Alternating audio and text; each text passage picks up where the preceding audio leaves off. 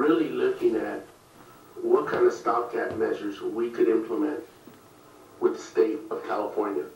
Uh, how can we tell them that some of these are so draconian that they're really not feasible?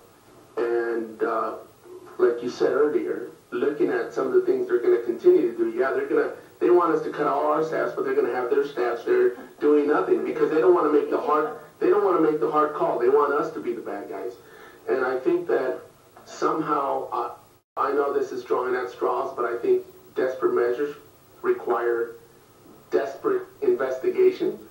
I I think we need to look legally at any and all options we have to put stopgap measures with the state of California on anything that they are trying to make us do. And And, I'm and I'm not sure what, where we might be able to get a handle, It might only be a few minor things.